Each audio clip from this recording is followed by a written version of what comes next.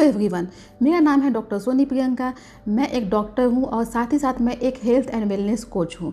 मैं अपनी वीडियो के माध्यम से आपको हेल्दी लाइफ स्टाइल लीड करने में आपकी हेल्प करती हूँ और मैं आपको डिज़ीज़ प्रिवेंशन के बारे में भी बताती हूँ। आज की वीडियो में हम लोग निगेटिव या ज़ीरो कैलोरी फ़ूड के बारे में बात करने वाले हैं। ये निगेटिव कैलोरी फ़ूड क्या होते हैं? क्या यह पॉसिबल है कि किसी फ़ूड में निगेटिव कैलोरी हो?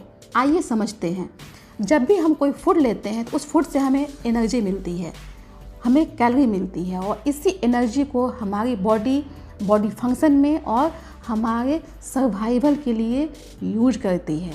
और जब भी हम कोई फ़ूड लेते हैं तो बॉडी इसे डाइजेस्ट करने के लिए कुछ एनर्जी खर्च करती है। हमारे डाइजेशन में, हमारे फ़ूड के एब्जॉर्सन में फ़ूड के प्रोसेसिंग में और फाइनली फ़ूड के एलिमिनेशन में हमारी बॉडी को कुछ ना कुछ एनर्जी यूज़ करनी पड़ती है।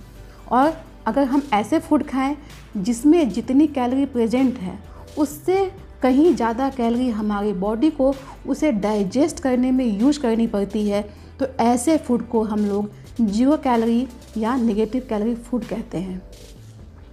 ऐसे फ़ूड कैलोरी में बहुत लो होते हैं और न्यूट्रिशन में बहुत हाई होते हैं। इनमें फाइबर कंटेंट और वाटर कंटेंट भी बहुत अच्छा होता है और इसीलिए ये आपको बहुत लंबे समय तक फिल रखते हैं। और यही कारण है कि आपके डाइटिशियन आपके डॉक्टर आपके हेल्थ कोच आपको वेट लॉस के दौरान इस फ़ूड को प्रचुर मात्रा में अपनी डाइट में इंक्लूड करने के लिए बोलते हैं। और इसके अलावा इसके अदर हेल्थ बेनिफिट्स भी हैं। तो आज के वीडियो में मैं आपको टेन सुपर फ़ूड के बारे में बताऊँगी, जो निगेटिव या ज़ीरो कैलोरी फ़ूड है, यानी में उनमें बहुत कम कैलोरीज है। तो चलिए स्टार्ट करते हैं। हमारा पहला सुपर फ़ूड है कैरेट यानी गाजर। गाजर में पर 100 ग्राम ओनली 41 कैलोरीज होती है, और ये विटामिन ए में रिच होता है, यानी ये आपके आई साइट के लिए बहुत अच्छा होता है।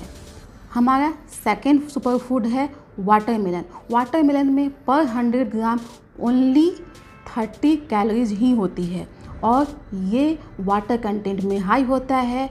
ये गर्मियों के दिन में आपको हाइड्रेट रखता है। हमारा थर्ड सुपर फ़ूड है ब्रोकली ब्रोकली में पर 100 ग्राम ओनली 34 कैलोरीज होती है और ये विटामिन सी में रिच होता है और अदर न्यूट्रिएंट्स भी इसमें प्रेजेंट होते हैं। लेकिन इसमें आपको ध्यान देने की बात यह है कि जब आपको हाइपोथायरिडिज्म होता है, तब ये फ़ूड आपको नहीं लेना चाहिए। हमारा फोर्थ सुपर फ़ूड है कैबेज यानी कि पत्ता गोभी। इसमें पर 100 ग्राम ओनली 25 कैलोरीज ही होते हैं और ये भी विटामिन सी में और अदर विटामिन में रिच होता है। और इसे भी आपको हाइपोथायरिडिज्म में नहीं लेना चाहिए। हमारा पांचवा सुपर फ़ूड है ब्रिंजल यानी कि बैगन। बैगन में पर 100 ग्राम ओनली 25 कैलोरी ही होती है और ये भी फाइबर में रिच होता है। हमारा अगला सुपर फ़ूड है छठा ग्रीन लीफी वेजिटेबल्स इसमें पर 100 ग्राम ओनली 20 कैलोरीज आपको मिलती है और इसके बहुत सारे वैरायटी है। आप इसके लिए पालक, मेथी, बथुआ, गोभी के पत्ते, मूली के पत्ते, धनिया, ये सब यूज़ कर सकते हैं। और आपको कैलोरी की चिंता नहीं करनी है। इसके अलावा इसके बहुत सारे अदर हेल्थ बेनिफिट्स भी हैं। ये एंटीऑक्सीडेंट में हाई होता है, ये आपके डाइजेशन के लिए भी अच्छा होता है। हमारा सातवां सुपर फ़ूड है बेल पेपर्स यानी कि शिमला मिर्च। शिमला मिर्च भी विटामिन सी में अच्छा होता है और ये पावरफुल एंटीऑक्सीडेंट्स भी हैं। इसमें पर 100 ग्राम ओनली 20 टू 24 कैलोरीज ही होती है।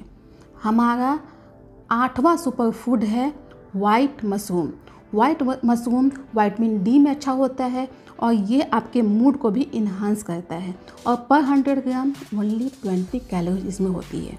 हमारा नौवा सुपर फ़ूड है टोमेटो यानी कि टमाटर। टमाटर विटामिन सी और लाइकोपिन में रिच होता है और ये दोनों एंटीऑक्सीडेंट है। तो ये आपके स्किन के लिए बहुत अच्छा है और पर 100 ग्राम आपको ओनली 18 कैलोरीज ही मिलती है।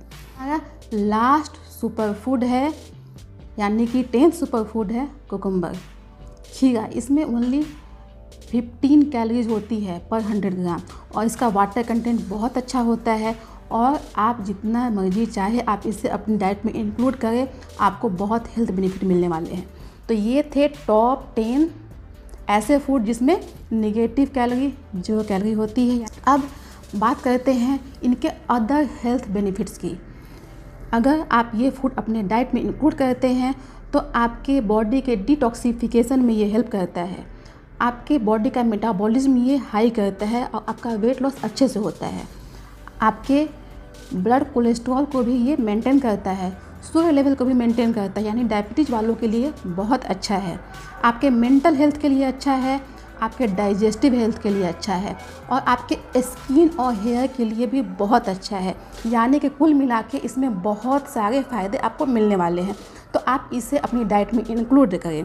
लेकिन आपको ध्यान देने की ज़रूरत है, सिर्फ़ इसे ही अपनी डाइट में में इंक्लूड नहीं करना है। आपको बैलेंस्ड फ़ूड लेना है। आपको इसके साथ कॉम्प्लेक्स कार्ब्स गुड क्वालिटी और गुड क्वांटिटी में भी प्रोटीन ऐड करना है और हेल्दी फैट भी ऐड करना है।